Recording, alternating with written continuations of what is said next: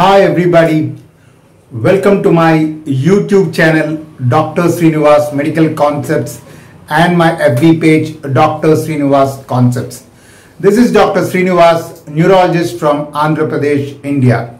I am also the medical author of the book Focused Neurology. Today we are going to talk about the clinical anatomy of the cortex, internal capsule and thalamus, its important clinical correlations and concepts. I believe this is going to be very useful especially for undergraduates and for uh, postgraduates and for students preparing for higher specialities. Here we go. Cerebral cortex. Cerebral cortex as we are all aware it has got frontal lobe, parietal lobe, temporal lobe and occipital lobe. The frontal lobe extends from the frontal pole to the central sulcus above the sylvian fissure. We need to know what is homunculus. Homunculus it is the size of an anatomical part proportional to the amount of the cortex to which it is related. So homunculus is representation of the body parts in the cortex. We have motor homunculus in the frontal lobe, we have sensory homunculus in the parietal lobe. They are similar but not exactly identical.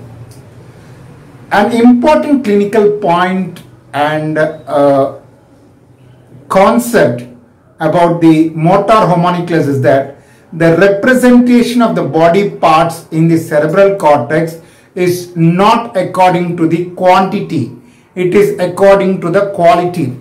For example we have a big thorax but we hardly use thorax for any meaningful movement or purpose. But fingers we keep moving it for all kinds of activities be it writing typing mixing the food for all kinds of activities. Likewise facial mus muscles the musculature for all kinds of facial expressions and therefore since we use the facial muscles and fingers for a lot of conditions uh, qualitatively the representation of the hand and the face is more in the cortex than the representation of the thorax. The leg area has got a medial representation. So the representation of the body parts in the cortex is not according to the quantity but it is according to the quality so in the medial part of the frontal lobe we have the leg area which is supplied by the anterior cerebral artery. And therefore the anterior cerebral artery gets affected. The leg area gets affected. Person may have paraplegia. Both the anterior cerebral arteries get affected. We have bladder area incontinence memory also can get affected. So the medial part of the frontal lobe is the leg area which is supplied by the anterior cerebral artery when we come laterally we have the hand and the face which has got the highest representation followed by the tongue. So this entire cortex is supplied by the middle cerebral artery. And another important clinical point is that when the middle cerebral artery gets affected the motor homunculus and the sensory homunculus are so close by and both are supplied by the middle cerebral artery. And therefore if the middle cerebral artery is involved is affected there would be usually both hemiplegia as well as hemesthesia. pure motor hemiplegia is unlikely in a middle cerebral artery involvement because middle cerebral artery supplies both the motor cortex and the sensory cortex so there would be a combination of hemiplegia and hemesthesia. unlike in internal capsule which I'll be talking about in few minutes from now where the lenticulostriate artery of the middle cerebral artery can get selectively involved and affect only the corticospinal tract causing a pure motor hemiplegia. And therefore when we approach a person who's got pure motor hemiplegia an internal capsule lesion is more likely. In cortex if it gets affected because of middle cerebral artery usually there will not be a pure motor hemiplegia. It will be a combination of hemiplegia and hemesthesia. This is a very important point and the other important areas in the frontal lobe is the frontal eye fields area number 8 which is responsible for saccades horizontal movements it goes to the PPR, paramedian pontine reticular formation in the pons. The left frontal cortex goes to the PPRF on the right side and therefore when my left frontal cortex is stimulated, my eyes will move to the right because the PPRF connects to the sixth nerve on the right side with the third nerve medial rectus on the left side. So when the left frontal cortex is stimulated, frontal eye fields number 8 is stimulated, the eyes will move to the right. And therefore when the frontal cortex is affected, the eyes cannot move to the right, eyes will move to the same side and hemiplegia will be on the opposite side. So eyes looking to one side and hemiplegia on the opposite side, the lesion has to be in the frontal eye fields area number 8. But if the PPRF gets involved, paramedian pontine reticular formation, it connects sixth nerve on the same side with the third nerve on the opposite side. Its action is to pull the eyes towards its side and therefore if there's a lesion in PPRF, the eyes cannot be pulled to the same side. So eyes will be pulled pushed to the opposite side. Hemiplegia also will be on the opposite side because the corticospinal tract crosses at the level of the medulla oblongata and goes to the opposite side. So eye is looking towards the side of hemiplegia is a pontine lesion but eye is looking to one side and hemiplegia on the opposite side is a lesion in the frontal eye fields area number 8. Then we have another important area, Broca's area, area number 44 and 45, which is responsible for fluency of speech and therefore if the Broca's area gets affected person can understand speech but he cannot speak fluently. So it will be a meaningful but telegraphic speech which is known as Broca's aphasia. Broca's area is supplied by the superior division of the middle cerebral artery. So these are all the important areas of the frontal lobe. Next we come to the parietal lobe. The parietal lobe lies posterior to the central sulcus superior to the temporal lobe. It is primarily concerned with the sensations. The postcentral gyrus also has got sensory homunculus. It is similar to the motor homunculus but not exactly identical. So here also the sensations, uh, the representation of hand and face for the sensation is more as compared to the thorax and to some extent the legs and therefore since the sensory representation of the face and the hand is more in the parietal lobe, we can feel two points which are placed so close together as two separate points. This is known as two point discrimination and therefore since the representation, sensory representation is very high for the face and the fingers, the two point discrimination can be easily felt on the lips as well as the fingertips. But thorax has got a very small representation for sensory uh, sensory perception and therefore the two point discrimination is not felt well at the back. So the two point discrimination is very much sensitive on the lips and the fingertips because the sensory representation for the face and the hands are more but the two point discrimination is not that sensitive on the back because the representation for sensory perception of the thorax is very less. Again, this is a very very important clinical point. Next, we'll come to the temporal lobe. The temporal lobe lies below the sylvian fissure. The auditory association area and the Wernicke's area is the area number 22. Like Broca's area which is which is for the fluency of the speech, Wernicke's area is responsible for comprehension of the speech and therefore if the Wernicke's area gets affected, person cannot understand speech but he can speak fluently. So it will be a nonsense but fluent speech. Wernicke's area is supplied by the inferior division of the middle cerebral artery and therefore if an embolus lodges into the inferior division of the middle cerebral artery, person will develop Wernicke's aphasia. And then the limbic structures which are on the medial part of the temporal lobe which are primarily concerned with emotion and memory are also present on the medial part of the temporal lobe and one of the important circuits we find in the limbic area is the Papez circuit. Next is the occipital lobe. Occipital lobe is primarily concerned for vision. It is in the medial aspect of the brain between the parietal and temporal lobes. It is primarily concerned with vision. Right. Now we have had seen an overview of all the lobes, frontal lobe, parietal lobe, temporal lobe and occipital lobe. Now we'll go and try to understand the cortical layers. Most of the cortical mantle, most of the cerebral cortex has six layers which we call it as neocortex. If there are only three layers, we call that as allocortex. Normally in most normally in most part of the brain it is neocortex, the six layered cortex. The first three layers are very very primary. They are known as allocortex. For example, hippocampus, all these do not have six layers. They have only the first three layers. They are very primitive in nature. The fourth, fifth, sixth layers are highly developed in humans and they are useful for all higher level activity. The first three layers are very much fundamental and seen in even the lower animals which we call as allocortex. The layer 5 is very important because it contains pyramidal cells of Betz. The corticospinal tract originates from the fifth layer of the cerebral cortex. Likewise, layer 4 is important for sensory perception because the thalamocortical projections goes to layer 4. So amongst the layer, six layers, layer 5 is important for motor functions. The corticospinal tract originates from the Betz cells of the fifth layer of the cerebral cortex. Layer 4 is important for sensations because the thalamocortical projections goes to the layer 4 of the cerebral cortex. Then we have a very important clinical entity known as cortical laminar necrosis. It is a selective destruction of the third layer due to hypoxemia or hypoglycemia.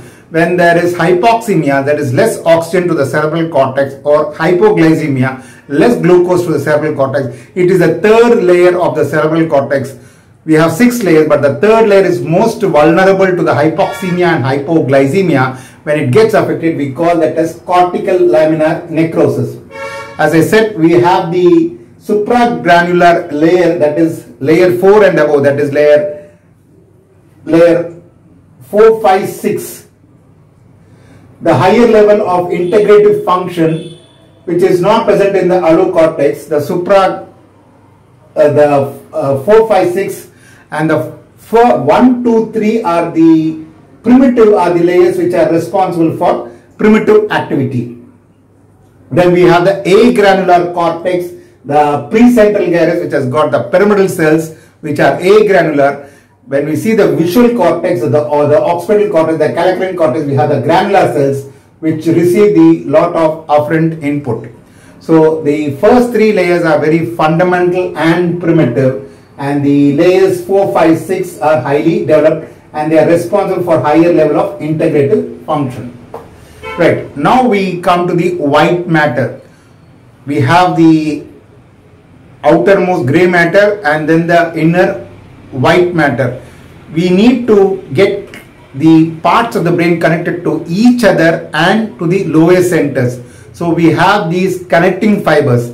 The connecting fibers are basically three types one the association fibers, second the commissural fibers and third the projection fibers. The association fibers are the fibers that connect parts of the brain within the same hemisphere.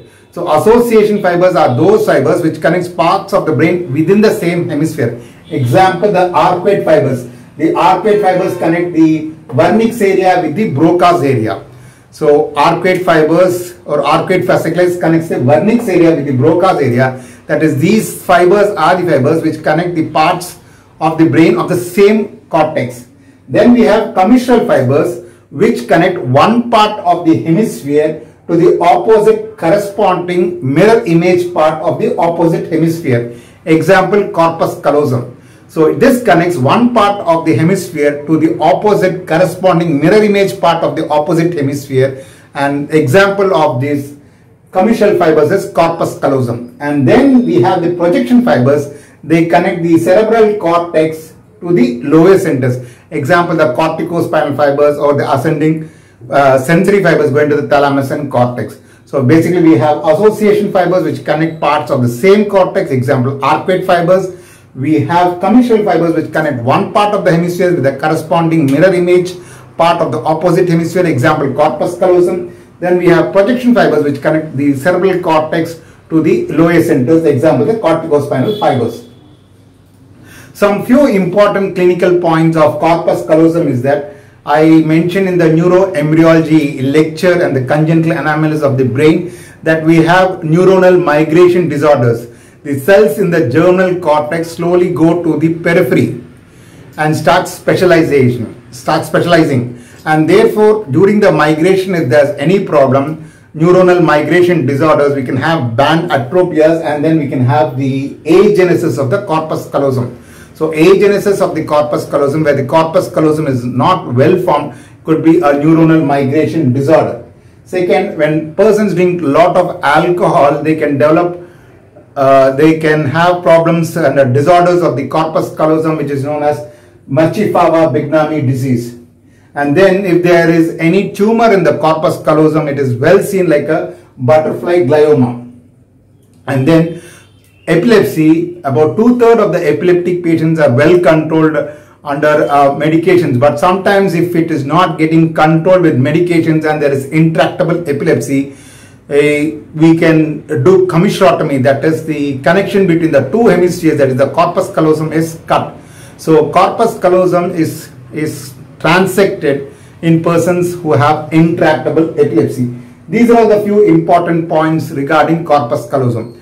Now we come to the internal capsule, perhaps the most important topic for undergraduate exam as well as postgraduate students of internal medicine, the residents of internal medicine internal capsule. So one has to have a detailed knowledge of internal capsule. Internal capsule basically has got three parts. The anterior limb, the genu and the posterior limb. Anterior limb, genu and posterior limb.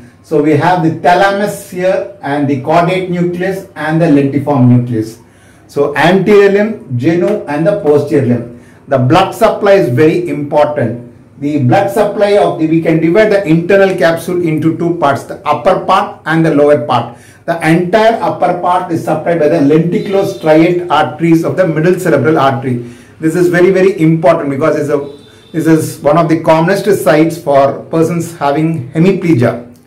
A lenticulostriate arteries or the middle cerebral arteries, if it gets affected, they can selectively affect the internal capsule and as I said earlier in, in my early part of the lecture, it can present pure motor hemiplegia. So the upper part, entire upper part is supplied by the lenticulostriate of the middle cerebral artery. The lower part we can divide it into three parts, anterior one third, middle one third and posterior one third. The anterior one third is supplied by the anterior cerebral artery, Heubner's artery. Here the selectives of the face and the hand may get affected which we call as faciobrachial monoplegia. The middle one third is supplied by the posterior cerebral artery and the posterior one third is supplied by the anterior choroidal artery, a branch of internal carotid artery. But what are the structures which are present in the internal capsule? As I said, internal capsule we can divide it into three parts, anterior limb, genu and the posterior limb. Anterior limb which is not very important clinically there are three structures. One is the frontopontine tract. Second is the Papez circuit. As I said, the Papez circuit is involved in memory. We have Papez circuit. Again, the saccadic path which I just mentioned when I was talking about the frontal eye fields area number 8. So the anterior limb has got three important tracts. One, the frontopontine tract which ultimately goes to the cerebellum. Then we have the Papez circuit that is for memory and then we have the horizontal gaze coming from the frontal eye fields area number 8. Then we have the genu. Genu is very important because the corticobulbar fibers are present in the genu and therefore the genu gets affected, the corticobulbar fibers supplying all the cranial motor nuclei can get affected. In the posterior part, we have these two important tracts. One is the corticospinal tract where the representations of face, arm and legs and then the ascending the sensory tract, the thalamocortical sensations going to the parietal lobe. So here we have both the motor tracts and the sensory tracts in the posterior limb of the internal capsule. So that's going to be the most important part of the internal capsule. That is the posterior part of the inter posterior limb of the internal capsule, which contains both the motor corticospinal fibers as well as sensory fibers. So if lenticulostriate arteries of the middle cerebral artery get affected, they can have pure motor hemiplegia, only the corticospinal tract being affected.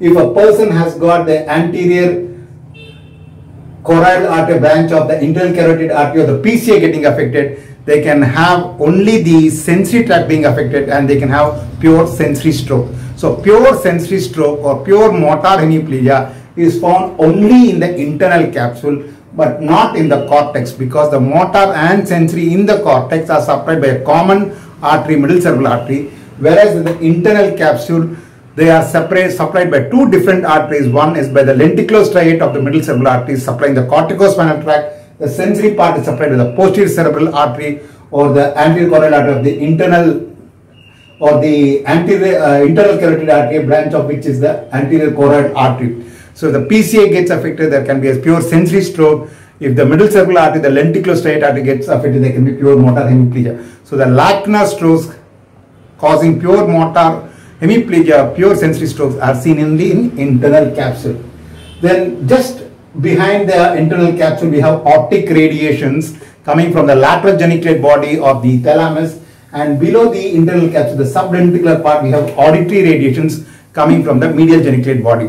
So if the lesion is in the most posterior part of the internal capsule, the optic radiations can get affected, the motor tract can get affected, the corticospinal tract, the sensory fibers can get affected. So this most posterior part is supplied by the anterior choroidal artery, a branch of which is a branch of internal carotid artery. So if there is selective anterior choroidal artery involvement, which is a branch of the internal carotid artery, they can have hemiplegia, hemesthesia and because of the optic radiations involvement, homonymous hemianopia. So one of the commonly asked MCQ questions is that a person is having hemiplegia, hemesthesia and homonymous hemianopia, where is the lesion and which artery is involved?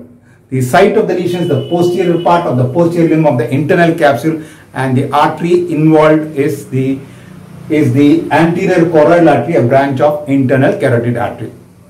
So internal capsule is very very important and we need to know the blood supply and the structures of the internal capsule thoroughly.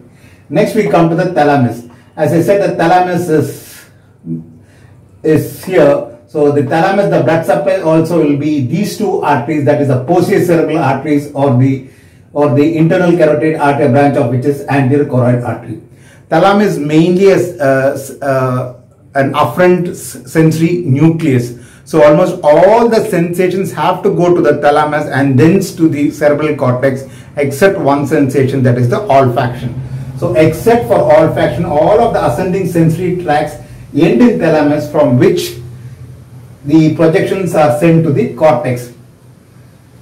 Thalamus is responsible for all for this appreciation of all crude sensations. So thalamus is responsible for crude sensations of most sensory modalities are appreciated. But the but very fine discriminative sensory information is appreciated by the parietal lobe. The crude sensations, namely the touch, pain, position, joint, vibration sense, are all perceived at the level of the thalamus. But the fine discriminative sensations like tactile localization, two-point discrimination, graphesthesia, stereognosis, barognosis, all these are perceived by the parietal lobe and therefore if there is a lesion in the parietal cortex, the primary sensations perceived by thalamus that is touch, pain, position, joint vibration sense are intact but the fine discriminative sensations namely tactile localization, two-point discrimination, graphesthesia, stereognosis, they would be affected. So if a person has got only these high finer discriminatory sensations being affected, the lesion is in the parietal cortex. Then the thalamus also synchronizes the motor system integrating motor cortex, basal ganglia and cerebellum. So thalamus is not only a nucleus for sensory perception but also for integration of motor activity that of the motor cortex, basal ganglia and cerebellum. So if thalamus gets affected they can have uh, involuntary movements also developing. Example, uh, if there's a lesion in the subthalamus, they can have hemiballismus. So thalamus is important for motor integration also. And thalamus is important for emotions also. It integrates functions between the between the limbic system, emotional brain and the cortex. And therefore thalamus has got a, a role to play with the in the appreciation of the emotion also. Thalamus is also important for arousal mechanisms we have the reticular activating system going through the thalamus. So if the reticular activating system gets affected, person's arousal mechanisms get, get affected and person loses consciousness. So thalamus and thalamocortical projections are very important for arousal and for the person to be in an awake state. But for this, we would have all lost our consciousness. So if a person has to lose consciousness, the reticular activating system should get affected and uh, thalamus has got a major role to play in the arousal system. And another important function of thalamus is in memory. We have the Papez circuit going through the thalamus and therefore the Papez circuit gets affected, the thalamus gets affected, the Papez circuit gets affected and person may also have problems with memory. And we have the nuclei for visual function, the lateral geniculate body. As I said in the internal capsule, we have the lateral geniculate body of the thalamus going as optic radiation just behind the internal capsule. So the lateral geniculate body gets affected, person will have homonymous hemianopia or visual problems. Likewise, we have the nucleus medial geniculate body in the thalamus which is responsible for auditory radiation. So if that get affected, person will have problems with the auditory function. And the most uh, posterior part of the thalamus and the biggest part of the thalamus nucleus is the pulvinar nucleus. It is it has got uh, uh, two parts, the left and the right. The left is responsible for vision directed for, uh, for the language functions. Visual attention for language re related functions is on the left side and the visual spatial task is on the right side. So visual attention directed for the language associated tasks are on the left side of the pulvinar nucleus and visual spatial tasks are on the right side of the pulvinar nucleus. And the blood supply of the thalamus, as I said, thalamus is very close to the internal capsule. So thalamus is also supplied predominantly by the posterior cerebral artery, the thalamoperforate arteries or the posterior cerebral artery or posterior communicating artery. But the lateral geniculate body, the optic radiation which is slightly behind the internal capsule is supplied by the anterior choroidal artery which is a branch of the internal carotid artery. So this is the blood supply of the thalamus. So this is an overview of the clinical anatomy of the cerebral cortex, the internal capsule, the thalamus and I feel we should have a very good and thorough knowledge of internal capsule especially for medical students. I enjoy giving the lecture. I hope you have also enjoyed listening to my lecture. If you have any suggestions or comments, please post uh, to my YouTube channel. And uh, if you have liked it, please like and subscribe my YouTube channel, Dr. Sreenivas Medical Concepts and my FB page, Dr. Sreenivas Concepts. Thank you. Bye.